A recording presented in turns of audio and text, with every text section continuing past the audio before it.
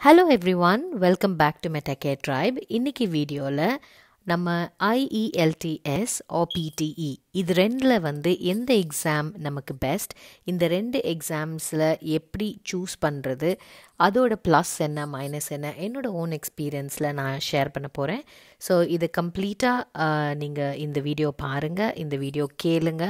உங்களுக்கு என்ன டவுட்ஸ் இருக்கோ இதில் வந்து நீங்கள் கமெண்ட் பண்ணுங்கள் இந்த வீடியோவில் டெய்லி எவ்ரி டே நான் வந்து பிடிஇ பற்றியும் ஐஎல்டிஎஸ் பற்றியும் ட்ரிக்ஸ் அண்ட் டிப்ஸ் ஒரு சீரீஸ் பண்ண போகிறேன் ஸோ கண்டிப்பாக இந்த சேனலுக்கு சப்ஸ்கிரைப் பண்ணுங்கள் ஸோ உங்களுக்கு ரெகுலராக நோட்டிஃபிகேஷன்ஸ் வரும். நான் புது வீடியோ ரிலீஸ் பண்ணால் ஓகே ஸோ இன்றைக்கி வீடியோவுக்கு நம்ம ஸ்டார்ட் பண்ணலாம். நம்ம எல்லாருக்குமே தெரியும் ஆஸ்திரேலியாவுக்கு நம்ம மைக்ரேட் ஆகிறோம் ஒரு ஸ்டூடெண்ட் வீசாவில் வரோம். இல்லை பிஆர் வீசாவில் வரோம். இல்லை ஷார்ட் டேர்ம் வீசாவில் வரோம். யாராக இருந்தாலுமே எக்ஸப்ட் விசிட்டர் வீசா நமக்கு um, ஒர்க்குக்கோ இல்லை ஸ்டடீஸ்க்கோ வரோன்னா கண்டிப்பாக நமக்கு வந்து இங்கிலீஷ் குவாலிஃபிகேஷன் தேவை. ஸோ இங்கிலீஷ் குவாலிஃபிகேஷன் வந்து uh, ஸ்டூடெண்ட்டாக வர்றவங்களுக்கு ஒரு சில எக்ஸாம்ஸ் தான் கம்பல்சரியாக பண்ணும். மைக்ரேட் ஆகிறவங்களுக்கு தனியாக எக்ஸாம்ஸ் இருக்குது ஸோ அந்த டீட்டெயில்ஸ் எல்லாம் நம்ம செப்பரேட் வீடியோவில் பார்த்துருக்கோம். இப்போ வந்து நம்ம என்ன பார்க்குறோன்னா இந்த ரெண்டு எக்ஸாம் ஐஎல்டிஎஸ் அண்ட் பிடிஇயில் வந்து எது பெஸ்ட் எதை வச்சு நம்ம சூஸ் பண்ணலாம்? இதோட கோர் கான்செப்ட்ஸ் என்னன்னு நமக்கு தெரியணும். இப்போ ஐஎல்டிஎஸ் வந்து ரொம்ப வருஷமாகவே இருக்கிற ஒரு எக்ஸாம் ஸோ இது வந்து மெயின்லி யூகேக்கு ஸ்டார்ட் பண்ணாங்க. அதுக்கப்புறம் அது ஆஸ்திரேலியாவுக்கு நியூசிலாண்டுக்கு எக்ஸ்டெண்ட் பண்ணாங்க. டோஃபல் ரொம்ப வருஷமாக யூஎஸ்க்கு வந்து இருக்கிற ஒரு ஸ்டாண்டர்ட் எக்ஸாம் ஸோ பிடிஇ இப்போ ரொம்ப ரீசெண்டாக இன்ட்ரடியூஸ் பண்ண ஒரு எக்ஸாம் ஸோ இது ஃபர்ஸ்ட் திங் நீங்கள் என்ன தெரியணும்னா ஐஎல்டிஎஸ் வந்து மோர் ஆஃப் பேப்பர் பேஸ்ட் அதாவது நம்ம எப்போவுமே எக்ஸாம் எழுதுகிற மாதிரி ஒரு எக்ஸாம் ஹாலில் அமைதியாக பேப்பர் பென் வச்சு எழுதுவோம். இப்போ ரீசெண்டாக வந்து ஒரு சில சென்டர்ஸில் அவங்க கம்ப்யூட்டரைஸ்டாக கொண்டு வந்திருக்காங்க எக்ஸப்ட் ஸ்பீக்கிங் பிடி வந்து கம்ப்ளீட்லி கம்ப்யூட்டரைஸ்ட் எக்ஸாம் ஸோ ஒரு ஒரு ஹியூமன் இன்டர்வென்ஷன் உங்களுக்கு இருக்கவே இருக்காது. கம்ப்ளீட்லி ஒரு ஆர்டிஃபிஷியல் இன்டெலிஜென்ஸ் பேஸ்ட் எக்ஸாம் அது. ஸோ ஒரு அல்காரதம் வச்சு உங்கள் வாய்ஸ் டிடெக்ட் பண்ணுறதுலேருந்து நீங்கள் டைப் பண்ணுற ஆன்சர்ஸ்லேருந்து அதை வச்சு அசஸ் பண்ணி உங்களை மார்க் பண்ணும். ஸோ இது வந்து கண்டிப்பாக ஒரு ஃபர்ஸ்ட் டிஃப்ரென்ஸ் நம்ம தெரிஞ்சுக்க வேண்டியது. ஸோ இப்போ நீங்கள் வந்து டைப்பிங் ஃபாஸ்ட்டாக டைப் பண்ணுவீங்க. ஏன்னா பிடி வந்து ரொம்ப டைமிங் ரொம்ப ரொம்ப கான்ஷியஸாக இருக்கிற வேண்டிய ஒரு எக்ஸாம் ஸோ நீங்கள் உங்களுக்கு டைப்பிங் வந்து கான்ஃபிடென்ஸ் இருக்குது ஓரளவுக்கு நான் டைப் பண்ணி எடுத்துடுவேன் அப்படின்னா definitely P T is a good choice IELTS வந்து ஹேண்ட் ரைட்டிங் மற்றவங்களுக்கு புரிகிற மாதிரி இருக்கணும். அண்ட் நம்ம இது வந்து நம்ம எல்லாருக்குமே ஒரு பழகி போன ஒரு way way of exam so இது புதுசாக ஒன்றும் இல்லை. அடுத்து ரெண்டுலேயுமே பார்த்திங்கன்னா நாலு டிஃப்ரெண்ட் மாடியூல் இருக்குது listening reading writing and speaking so எந்த அளவுக்கு உங்களுக்கு காதால் ஒரு இங்கிலீஷ் பேசேஜை கேட்டு அதிலிருந்து கேட்குற கொஸ்டின்ஸை ஆன்சர் பண்ண முடியுங்கிறத அசஸ் பண்ணுறது தான் லிசனிங் செக்ஷன் ரீடிங் வந்து ஒரு பேசேஜ் கொடுத்துட்டு அதுலேருந்து கொஸ்டின்ஸ் ஆன்சர் பண்ணுறது ரீடிங் ரைட்டிங் ஒரு டாபிக் கொடுத்து அதில் எவ்வளோ க்ரியேட்டிவாக நீங்கள் ஆன் த ஸ்பாட் எழுதுறீங்க அந்த டைம்குள்ளே அப்படிங்கிறத அசஸ் பண்ணுறது ரைட்டிங் ஸ்பீக்கிங் ஆப்வியஸ்லி ஒரு டாபிக் கொடுத்தா ஆன் த ஸ்பாட்டில் எப் எப்படி நீங்கள் வந்து அந்த டாபிக் பற்றின நல்ல டாட் பாயிண்ட்ஸ் வச்சு பேசுகிறீங்க அப்படிங்கிறத அசஸ் பண்ணுறது ஸோ ஐஎல்டிஎஸ் எக்ஸாம் பார்த்தீங்கன்னா மோரார்லெஸ் இந்த leading reading listening and writing இது மூணும் ஒரே நாள் நடக்கும். So almost two point four five ஒரு த்ரீ ஹார்ஸ் கிட்ட வர நடக்கிற எக்ஸாம் ஸ்பீக்கிங் வந்து தனியாக ஒரு நாள் நடத்துவாங்க ஒரு இடத்துல ஒரு வென்யூவில்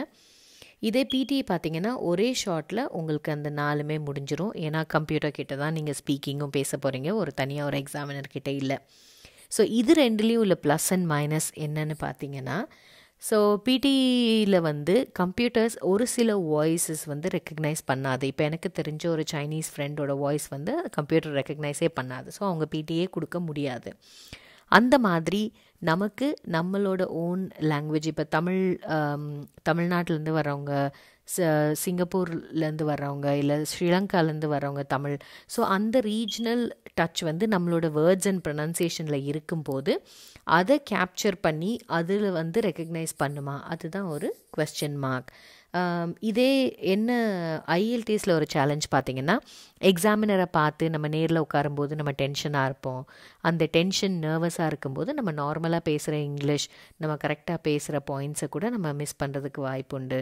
அந்த எக்ஸாமினருக்கு வீட்டில் ஏதாவது பிரச்சனை இருந்தால் அதனால நமக்கு மார்க் குறையவும் வாய்ப்புண்டு ஸோ இந்த மாதிரி ப்ளஸ் அண்ட் மைனஸ் ரெண்டுலேயுமே இருக்குது ஸோ எக்ஸாம் பேட்டர்ன்ஸில் வந்து கொஞ்சம் டிஃப்ரென்சஸ் இதில் வந்து இருக்குது ஸோ இப்போ ஐஎல்டிஸில் பார்த்தீங்கன்னா லாங் கொஸ்டின்ஸ் வரும் லிஸ்னிங் மாடியூலில் வேறு பிடியில் பார்த்தீங்கன்னா ஷார்ட் ஷார்ட் கொஸ்டின்ஸ் வரும். ஸோ இது ரெண்டுலேயுமே எனக்கு தெரிஞ்சு பிடி வந்து ரொம்பவே நீங்கள் வந்து டைம் கான்ஷியஸாக இருக்கணும். டைம் மேனேஜ்மெண்ட் ரொம்ப ரொம்ப ரொம்ப முக்கியம். இதில் எக்ஸாமோட கிரேடிங் சிஸ்டம் பார்த்திங்கன்னா ஐஎல்டிஎஸ் வந்து ரேங்க் பண்ணுறது ஜீரோ டு நைன் நைன் தான் வந்து உங்களுக்கு ஹையஸ்ட் ஸோ நாலு இதுலேயுமே வந்து செப்ரேட்டாக உங்களுக்கு வந்து ஒரு மார்க் கொடுப்பாங்க. அவுட் ஆஃப் நைன் எவ்வளோ ஸ்கோர் பண்ணுறீங்க அதை வச்சு நீங்கள் காம்பிடென்ட் ப்ரொஃபிஷன் சுப்பீரியர் இங்கிலீஷ் ஸ்கில்ஸ்னு கொடுப்பாங்க. அதே மாதிரி பிடியில் வந்து ten to ninety so maximum marks வந்து நைன்ட்டி ஸோ அதை வச்சு உங்களுக்கு உங்களோட லாங்குவேஜ் ஸ்கில்ஸை வந்து அசஸ் பண்ணுவாங்க. ஐஎல்டிஎஸோட எக்ஸாம் ரிசல்ட்ஸ் வந்து இப்போ நீங்கள் நார்மலாக ட்ரெடிஷ்னலாக பேப்பர் அண்ட் பென் மெத்தடில் பண்ணிங்கன்னா மினிமம் ஃபோர்டீன் டேஸ் ஆகும் உங்களுக்கு ரிசல்ட்ஸ் வர்றதுக்கு. வேறஸ் பிடி எடுத்திங்கன்னா பிகாஸ் அது கம்ப்ளீட்லி கம்ப்யூட்டரைஸ்னால உங்களுக்கு மினிமம் டியூரேஷன் வந்து ஃபைவ் ஹவர்ஸில் கூட வரலாம். ஆவரேஜாக டுவெண்ட்டி ஹவர்ஸில் மி ஒன் டேயில் உங்களுக்கு ரிசல்ட்ஸ் வந்துடுது மேக்ஸிமம் ஃபைவ் டேஸ் சொல்கிறாங்க in case of any technical difficulties so இதுதான் வந்து ஜாஸ்தி பீப்புள் வந்து பிடி ப்ரிஃபர் பண்ணுறதுக்கு காரணம். பாஸாக ஃபெயிலா அப்படிங்கிறத உங்களுக்கு ஒரே நாளில் தெரிஞ்சுக்கலாம். இதுதான் வந்து ஒரு main advantage of PTE people சொல்கிறது ஸோ இது வந்து ஒரு ஜென்ரல் அசஸ்மெண்ட் இது எல்லாருக்குமே தெரியும். ஸோ என்னோடய பர்சனல் எக்ஸ்பீரியன்ஸில் என்ன சொல்கிறேன்னா நான் வந்து ஐஎல்டிஎஸ் எழுதினேன் டூ தௌசண்ட் ஃபிஃப்டீனில் ஸோ எனக்கு வந்து ஐஎல்டிஎஸ் வெரி வெரி ப்ரிஃபர்டாக இருந்தது ஈஸியாக இருந்தது வெரி ஸ்ட்ரெயிட் ஃபார்வர்டாக இருந்தது. பட் நான் என்ன அப்சர்வ் பண்ணேன்? அது உங்கள் ஆக்சுவல் இங்கிலீஷ் ஸ்கில்ஸை வந்து அசஸ் பண்ணுறது இல்லை ஸோ இப்போ நீங்கள் நல்ல இங்கிலீஷ் பேசுகிறவங்க கூட ஐஎல்டிஎஸ் எடுத்த உடனே செவன் பேண்டோ இல்லை எயிட் பேண்டோ எடுக்கிறது ரொம்ப கஷ்டம். ஏன்னா அது நீங்கள் எந்த அளவுக்கு உங்களுக்கு அனாலிட்டிக்கல் ஸ்கில்ஸ் இருக்குது அதை அசஸ் பண்ணுற ஸ்கில்ஸ் இருக்குது அதை புரிஞ்சுக்கிட்டு அவன் என்ன கேட்குறாங்கிறதுக்கு சரியான பதில் எழுதுறது ஆர் அந்த க்ளோசஸ்ட்டாக எழுதுறது நீங்கள் எந்த அளவுக்கு அதை புரிஞ்சு இன்டர்பிரேட் பண்ணுறீங்க அந்த மாதிரி ஒரு அசஸ்மெண்ட் டெஸ்ட் தான் ஐஎல்டிஎஸை தவிர அது வந்து டைரெக்டாக உங்களோட ஆக்சுவல் இங்கிலீஷ் கிராமர் இதெல்லாம் வந்து செக் பண்ணுற எக்ஸாம் இல்லை.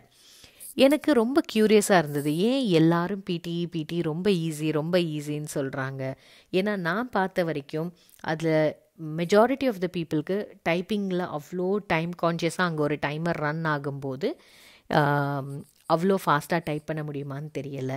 ப்ளஸ் ஒரு கம்ப்யூட்டர் கிட்ட பேசும்போது கம்ப்ளீட்லி அல்காரிதம் பேஸ்டுங்கும் போது எந்த அளவுக்கு வந்து அது அக்யூரேட்டாக இருக்கும் டெக்னிக்கல் எரர் வந்தால் என்ன? ஸோ நான் இதெல்லாம் யோசித்தேன் நான் ரீசர்ச் பண்ணி பார்த்ததில் ஏன் எல்லாரும் பிடிஇ வந்து ஈஸின்னு சொல்கிறாங்கன்னா அது அல்காரிதம்ங்கிறனால நமக்கு ஒரு சில ஸ்டெப்ஸ் கரெக்டாக நம்ம ஃபாலோ பண்ணிட்டோன்னா you can trick the algorithm so இதுதான் கரெக்டான ஆன்சர்னு சொல்லி நம்ம பா பாயிண்ட்ஸை பூஸ்ட் பண்ணுறதுக்கான வாய்ப்புகள் வந்து நிறைய அதிகம். இதே இது ஒரு டெம்ப்ளேட் இப்படி தான் எழுதணும் இப்படி தான் ஒரு இன்ட்ரொடக்ஷன் இருக்கணும் ஒரு ரைட்டிங் பேசேஜில் இந்த கண்டென்ட் இருக்கணும்னு ஒரு ஓவரால் டெம்ப்ளேட் கொடுக்கலாமே தவிர பிடி அளவுக்கு உங்களுக்கு ஒரு டெம்ப்ளேட்டை வந்து ஸ்டாண்டர்டைஸ் பண்ண முடியாது ஐஎல்டிஎஸில் அதனால தான் நம்ம மக்கள் நிறைய பேர் பிடியை வந்து ப்ரிஃபர் பண்ணுறாங்க ஃபார் த சிம்பிள் ரீசன் அது ஓரளவுக்கு ரெடிமேட் டெம்ப்ளேட்ஸ் கொடுத்து நடுவில் நமக்கு கொடுத்த டாப்பிக்கான வேர்ட்ஸை இன்சர்ட் பண்ணோன்னா நம்மளோட பேசேஜ் ரெடி ஆகிடுது நம்மளோட ரீடிங் ஸ்கில்ஸ்க்கும் அந்த மாதிரி டிப்ஸ் அண்ட் ட்ரிக்ஸ் வந்து ஈஸியாக அல்காரிதம் பேஸ்டாக நிறைய கொண்டு வந்திருக்காங்க. ஸோ அந்த அதனால தான் பிடிஇ வந்து பீப்புள் நிறைய பேர் ப்ரிஃபர் பண்ணுறாங்க எனக்கு தெரிஞ்சு ஒரு பிக்கெஸ்ட் அட்வான்டேஜ் பிடியில் என்னென்னா அவங்க கொடுக்குற ரிப்போர்ட் ஸோ அந்த ரிசல்ட் வந்து ஐஎல்டிஎஸ் மாதிரி உங்களுக்கு லிசனிங்கில் வந்து நீங்கள் கம்மியாக வாங்கியிருக்கீங்க அப்படின்ற மார்க்கை வச்சு அசஸ் பண்ணாமல் ஒரு ஒவ்வொரு இண்டிவிஜுவல் காம்பனன்ஸை வந்து அவங்க அசஸ் பண்ணுறாங்க ஸோ உங்களுக்கு வந்து எந்த ஏரியாஸ் வந்து நீங்கள் வீக்காக இருக்கீங்க? இன்டர்பிரிட்டேஷன் ஸ்கில்ஸ் வீக்காக இருக்கா? உங்களுக்கு கிராமட்டிக்கல் எரர்ஸ் இருக்கா? ப்ரொனன்சியேஷன் ஸோ ஒவ்வொரு இண்டிவிஜுவல் எலிமெண்ட்ஸ் உங்கள் உங்களோட இங்கிலீஷ் லாங்குவேஜில் வந்து அசஸ் பண்ணி அதில் சொல்லும்போது உங்களுக்கு ஒரு வெரி நேரோ டவுன் ரொம்ப ரொம்ப பர்டிகுலராக எதில் உங்களோட ஸ்ட்ரென்த்ஸ் எதில் உங்களோட வீக்னஸ்னு நீங்கள் வந்து கண்டிப்பாக அசஸ் பண்ணுறதுக்கு ஈஸியாக இருக்கும். ஸோ அதனால தான் பிடி ஈஸின்னு சொல்கிறாங்க ஸோ நான் வந்து ஐஎல்டிஎஸ் அண்ட் பிடி ரெண்டுக்குமே வந்து ஒரு சீரீஸ் ஆஃப் கோர்சஸ் வந்து இப்போ கண்டக்ட் பண்ண போகிறேன் இந்த யூடியூப் சேனலில் எவ்ரி டே ஒரு um, சின்ன ஒரு மாடியூலில் இருக்கிற டிப்ஸ் அண்ட் ட்ரிக்ஸ் எப்படி நீங்கள் ஈஸியாக க்ராக் பண்ணலாம் எப்படி நீங்கள் ஸ்கோர் பண்ணலாம் அப்படிங்கிறத வந்து நான் சொல்லித்தர போகிறேன் ஸோ இந்த சேனல் க்ளோஸாக வாட்ச் பண்ணுங்கள் சப்ஸ்கிரைப் பண்ணுங்கள் நோட்டிஃபிகேஷன்ஸ் ஆன் பண்ணுங்கள் ஸோ ஒரு வீடியோ வந்தோடனே உங்களுக்கு வந்து தெரிய வரும். ஸோ நம்ம இந்த கொரோனா வைரஸ்னால் ஒரு ட்ராவல் பேன் இருக்கிற பீரியடை மேக்ஸிமம் யூட்டிலைஸ் பண்ணி நம்ம ஹை ஸ்கோரிங் அளவுக்கு நம்மளை வந்து நம்ம ப்ரிப்பேர் பண்ணிக்கிட்டோன்னா நமக்கு ட்ராவல் பேன் லிஃப்ட் பண்ணோன்னே வீசா அப்ளை பண்ணி ப்ராசஸ் பண்ணி வர ஆஸ்திரேலியா வீசா ப்ராசஸ் பண்ணுறதுக்கு ஈஸியாக இருக்கும். ஓகே கண்டிப்பாக இந்த வீடியோ வந்து உங்களுக்கு யூஸ்ஃபுல்லாக இருந்திருக்கும்னு நான் நம்புகிறேன் ஸோ நெக்ஸ்ட் வீடியோவில் நம்ம சந்திக்கலாம். தேங்க்யூ